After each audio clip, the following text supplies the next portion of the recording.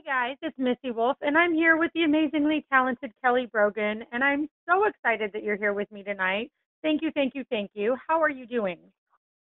I'm doing great, thanks, Missy. Thank you for having me. Absolutely. I, I'm I'm so excited to talk to you about a few things. And okay, the main thing is your new album that's coming out. But before we talk about that, I have to know about your dogs and the great painting party that they had. Oh my gosh, I saw I saw a picture on your Facebook and I was dying. What what happened?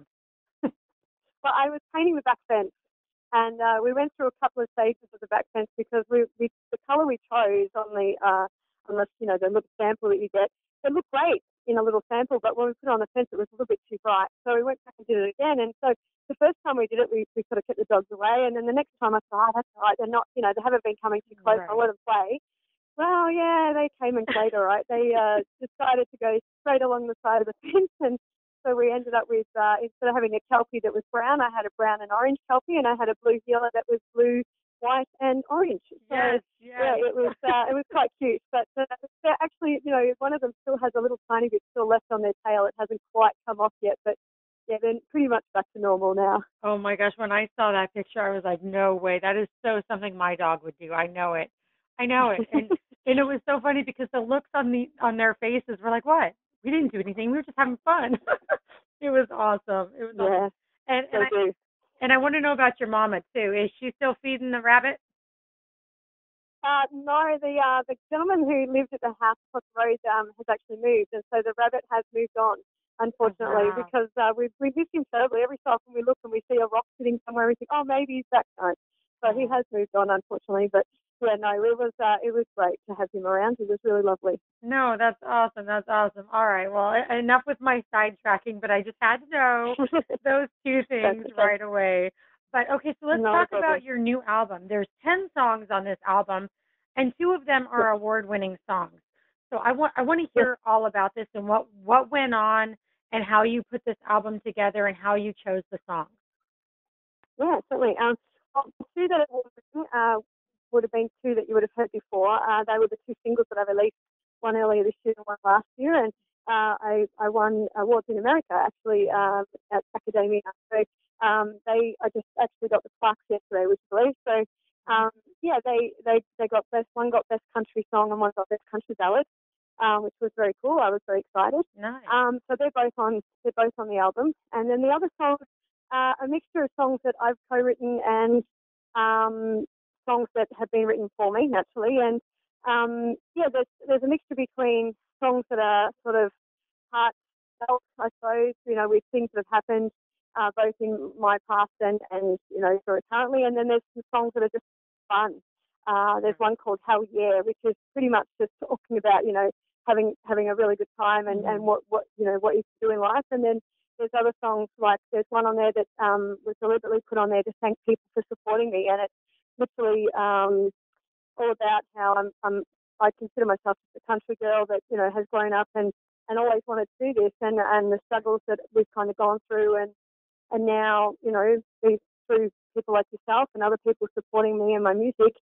I'm now actually, you know, considered an artist. So I, you know, I, I really appreciated that. So I wanted to put something on there that, you know, sort of thanks people very much for, for their support and, and also, you know, an extra song on the album. So yeah, it's sort of a very personal album, but at the same time, I think, and it, it, it sort of embellishes the things that I like about music. It's not an album where you listen to it and every song sort of sounds the same. There's right. stuff that sort of sounds very old country, and then there's stuff that's sort of modern country, and then there's other stuff that they've gone, oh, that's a bit funky. So, um, nice. yeah, so it's a little bit different, you know. So there's stuff I think for everyone, sort of every age group, and everybody who Right. has a different taste of country music. So, And- so yeah, I, I think that's great too. And you know what? And, and you're right because not everybody has, you know, the the same taste in country music. And you know, for the majority, I think you know everybody likes you know a little bit of everything. But you know, you're always going to have the the one or two people that really really love a certain style. But but when you're able to mix it up and reach everybody, I think it's such a huge huge huge deal. And and it's it's it's more fun on an album too because if you're in one of those moods where you just kind of just you're free and you want to listen to whatever, you know, hearing that good ballad and then hearing that good fun song, it's just it's just it's just awesome and I, and I think it's great and and I think that I think that that's kind of a, a better thing because it doesn't make the album boring. At least for me, anyway. I love it when there's some variety on an album. So, so I I, I like that. I think that's great. And yeah, I must admit, I, I said to the producer when we did it, I said, uh, and he said the same thing. I said that the albums I've always loved the most are your greatest hits albums mm-hmm. because they give the best of everybody. And so I said I want it to be, even though it's not my greatest hits, well, hope it's not the only ones they ever get. Um, but um, but I said, you know, I, I would really love it to sound like it's the best of so many different types of things that I've done over time. And he said, okay, yeah, let's let's let's try and you know put that all in. So that's what we've tried to do. Hopefully, that's the way it comes across. Absolutely, and it, and it's great too because you know when you're in a certain mood and you just want to listen to a certain song, if you have an album that doesn't have any of those songs on it, guess what? You're not going to play that album. Yeah. You know what I mean? Exactly. So, so it, I, I think that's I think that's great, and that's why I love albums that offer a variety because no matter what mood I'm in, it'll reach them. so that's very true. Definitely, definitely. And you've you've you've gotten so busy, and you've done so many amazing things. I've been watching you play different shows, and you know you've you've been really active on your social media. But I want to know about this this Great Cycle Challenge. What is this that you've done? Do you... Okay. yeah, no, uh, the Great Cycle Challenge. Because uh, I'm still at the moment working in a primary school, and uh, one of the girls that here I'm friends with, quite you know, we're pretty good friends, and so she always does the Great Cycle Challenge, and it's to raise money for kids with cancer to try and find a cure for them. And so, and being in a primary school, and, and me, I love kids. I think they're an amazing, uh, you know, entity to our, our society because without them, you know, they tell it straight and they right. tell you exactly how it is. Yeah. And so I think they're amazing. And so when she said to me, "Oh, look, we, we want to do this," I said, you know, great." I said, "I've done it. I did it last year with her, and then this year we said, right, let's get a team together." So we, you know, sent out a challenge to the kids and said, right, let's put a team together, and even if you can't raise money, let's show people that you have respect for people that do all this sort of stuff, and mm-hmm. you know, we're trying to teach them to, you know, to be involved in, in the community, not just for themselves. Right. And so we put this team together, and and yeah, we we cycled, and I probably didn't do as well this year. I actually fell over while I was painting, and I uh, bruised my knee, so oh. I, it was a little bit tender, so I didn't travel quite as far as I was right. hoping. But you know, we still got uh, some. I got some cycling done, and and yeah, we raised. I think we raised about three and a half thousand dollars for kids cancer. So we were wrapped, and you know, that was that was the main thing. We just wanted to raise some money and and make people aware of what we were doing in our community. So.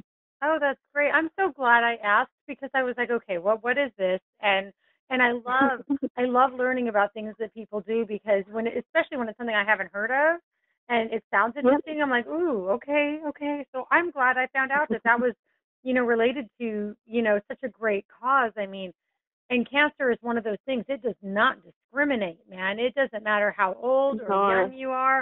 It doesn't matter what race you are, what sex you are. It just doesn't matter. It and it when it comes, sometimes it just comes with a vengeance and man so thank you bravo for helping your you know the little the little ones like you know bringing awareness and getting people involved that's amazing that's great yeah thanks no you're welcome and something else that you did recently is something that i also did recently and i want to know how you feel about it you dressed up for a superhero birthday party and i just dressed up as captain america for a superhero birthday party last week so I want to yeah. know, do you love dressing up like on Halloween and, and stuff like that?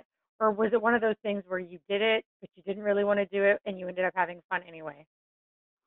No, I must admit, I do enjoy doing it. Um, I, I, I must admit, we, I've, in my family, we've never had a lot to do with Halloween, um, because in Australia when I was younger, it wasn't really big, whereas now it's starting to get really big here. Oh, okay. um, so you do see so many more people, you know, dressing up for that purpose. Um, but yeah, I, I, you know, friends parties, uh, you know, if anybody's going to dress up, they're just the village idiot, as we say here. Um, it's usually me. Right. Okay. I, I just think it's fun, and you know, I just don't see, and I think too, when you when you dress up, you can become a whole other person and Definitely. have a bit of fun. You know, where your personality may not normally take you, and and unfortunately, that particular part, it sort of said, oh, you need to dress up, and it starts with the first letter of your name, and I'm like, what's a superhero that starts with K? Like, I just went really, I, I couldn't believe that they had put that sort of, um, you know, limitation on it. And so that's why I went as Kim Possible because it was the only K that I could actually think of. And then when I got there, nobody had even gone with that rule. And I was like, that's not fair. Like here I was trying so hard to get it going. And then they, they had, you know, you had Captain Underpants and you had all these different types, heroes. And I thought, oh man, I could have gone with something else. So yeah, my mum was lucky because her name is Sandra, so she started with an S. So she went as you know Superman, but she went as an inflatable Superman. I... So she was fine. But I had no, no chance. I was dying when I saw her inflatable costume. I was like, "Oh, you have got to!" Be. That that was the greatest thing ever. And I don't know. Yeah. I don't know if you saw this recently on Facebook, and I was so not planning on talking about this, but I have to now. Have you seen those inflatable pink costume things that are bouncy costumes? And there's a video where there's guys bouncing across the street, and all of a sudden they just stop bouncing and then they walk, and they're these big giant pink men that are just waddling across the street. It is.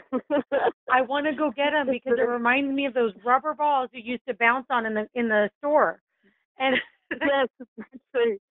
I want it's to, very funny. I want to go get them, and I want to do a piece with with the magazine called Shenanigans with Missy, and I want to just get a bunch of people in the in those suits, and I want to just get us going all throughout Nashville or whatever on those. I think it would be great.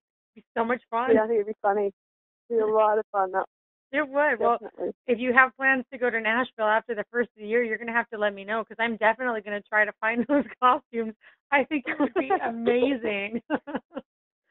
oh, I would be in that for sure. Definitely. You see, see, okay, we we got to do that. We definitely have to do that because I was like, oh my gosh, it's just like that human hungry hippo game. Have you seen that one too? That's true. Yeah, that's great. I've looked at that so many times and went, oh, I just need a party. I just right? need a party where we can put that in. Yes, yes, we need to do that. Definitely. And, and you know, and I was talking. I don't know who I was talking to about it. Um, I know I mentioned it in one of my articles, but Halloween costumes have gotten so expensive, right? You want to put yes, together a yes. nice costume, it's going to cost you a couple hundred bucks. And so this, yeah, definitely. this year we went as pirates, and I was like, all right, you know what?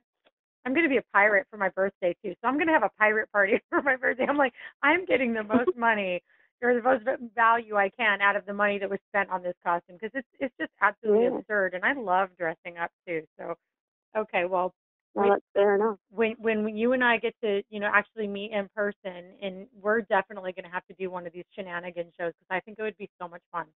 We're gonna have to either oh, play oh, definitely. Play the hippo game or, or do the bouncy suits if we can find them or something because it'd be great. But anyways, back back to your album. I'm so proud of you, number one, and I'm so excited that your album is coming out. And you have you have a release date of November 21st for pre-order, right? And then like the- well, we're hoping that um even it'll be it will actually be well we were hoping that it would be actually out um available on iTunes and Google Play and all those sorts of things on November 21st. But yeah, as I say, it's sometimes you know, things don't always go according to plan. Right. So it, if not, it will definitely still be out pre-order by that date, and, okay. and as soon as it's out, it will be available.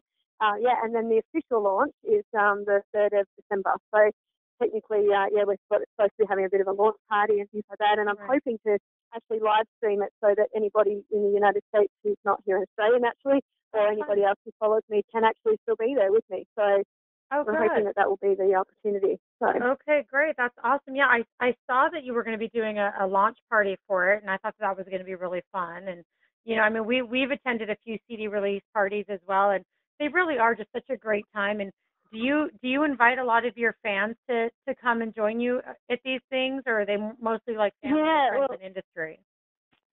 Yeah, no, there has been. I have invited a few. Um, like there has been a lot of my family and friends there because they've, you know, they've always supported me and, and they've always said, oh, you know, if you get to release a CD, we want it either. And so I've made sure that they are. But yeah, I have, um, I have put it out to people that I know are local sort of in this area that, you know, can get to it because I know it's very expensive to actually fly into places and do right. things for a one night sort of thing. So I've done that, but then I, I also have put out there to people that, you know, if I can get it at the time looking like I'll be able to arrange it either on YouTube or, you know, now that there's Facebook Live, um, to actually put the entire because I'm actually going to do all the songs from the album live on the night. Oh, and so, um, yeah, so we're going to do it with the band. And so I thought, well, yeah, uh, technically it'll be my first concert, I suppose, as right. they say, um, with this under these sort of songs. So I thought, well, I'll stream it live, and that way people will get to actually see the, the music done live and, and me right. performing it, and and then hopefully be feel as though they're a part of, you know, the actual launch and the album being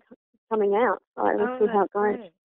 That's that's great. And so, so since you're you're talking about doing that online, you know, and, and letting fans watch it, have you ever done um, an online concert before? Because they're pretty fabulous. And I don't know if you're familiar with StageIt, um, but they're great. I, I have heard of StageIt, but I haven't used them yet. And so a few people say, look into these and look into this, this, and that. But now that you've said it, you know, I might actually look into them as well because, yeah, I haven't actually done an online concert before, but I believe, you know, they're a lot of fun. And it's I thought, Right. you know, I've got the opportunity, I'm going to try and do it. So, Well, let, let me let me share with you my experience because and the reason why I advocate for these these shows, these online shows is because you unless you're in the environment that I was in, you probably wouldn't just think about it. But these shows, these online concerts, you have the ability to reach people who can't leave their house or can't leave the hospital. And I was in the children's hospital with my son and Brandon Chase is is you know now a friend of ours, but he he was doing this show on StageIt and my son loves his music. We all love his music. And talk about brightening up a child's day who couldn't leave the hospital. Who we were there for for I forget that time how many days we were there. I think we were there that time for like 9 or 10 days. But what an awesome awesome thing it was because my son had his own little concert in his hospital room and he was Yeah. able to interact.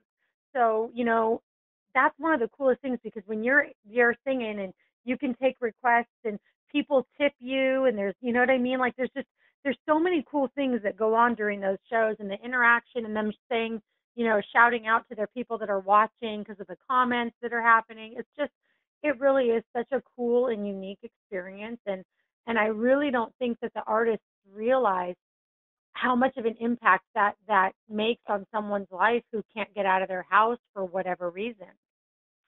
yeah, yeah, no, I, well, I'll definitely look, stage it up then because I was, yeah, I was trying to work out what would be the best way to do it. But, it, you know, seeing it come from experience, I'll Mhm. definitely go down that path, I think.